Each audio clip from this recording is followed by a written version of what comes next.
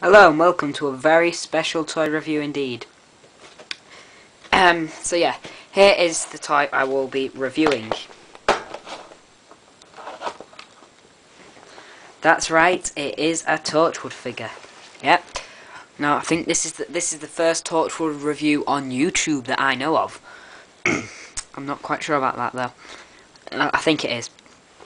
Anyway, yeah, it is the Weevil figure. Um, when I saw this in the shop in Collectomania, it's kind of sci-fi shop near me. When I saw it in the shop, I I was very impressed, and of course I brought it, and here it is. So yeah, it is the Weevil. See, fully detachable collector's display plinth, which can't really see the T on properly. Yeah, so Torchwood. There's the Weevil. And on the back it's got all them.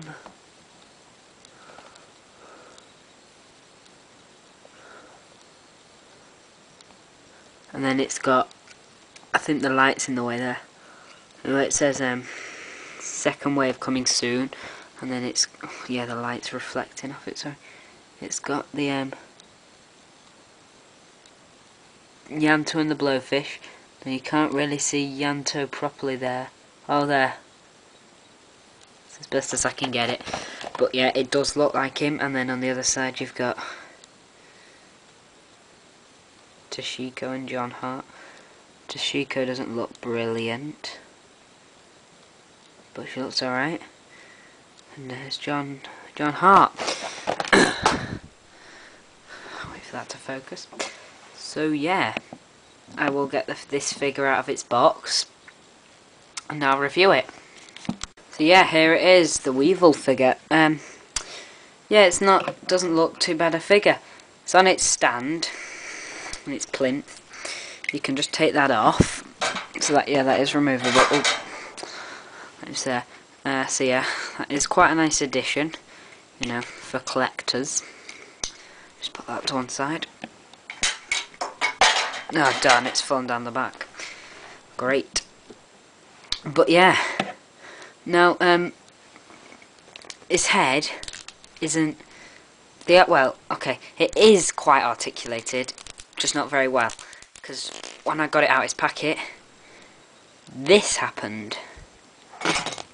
Oh, that was the plinth, which can't be good.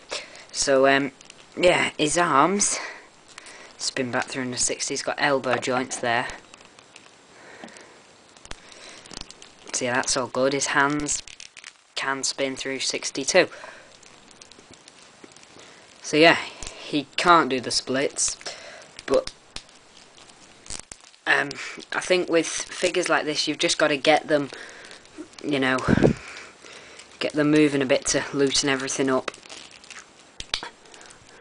So yeah, he has got, he can stand like that and be fierce looking. So yeah, for the articulation, it is all very stiff and a bit awkward. So articulation, I'd give it uh, 8 out of 10. I don't know what's going on there. so yeah, the articulation is isn't great. The detail is fairly good, I suppose. we're, we're remembering this isn't a professional figure from like character options. So, you know, it isn't bad considering. The teeth are pretty cool. The screwed up face, as it were. You know, the hands. The janitor's kind of clothes. so, yeah. Detail, I'd probably give this about a 9 out of 10. So, yeah.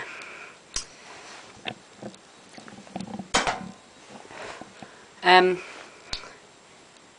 it's looking at it. Um, hold on, wait there.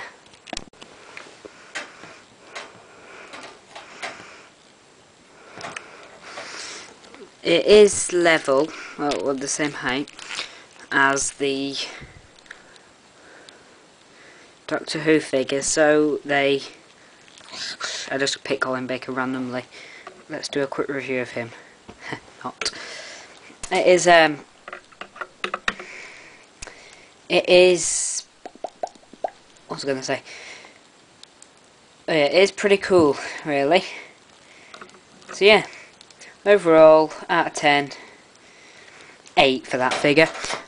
So yeah, um, I hopefully will be getting the rest of the set, the other three figures for Christmas. No, sorry, yeah, three figures for Christmas. So, this has been the first Torchwood review.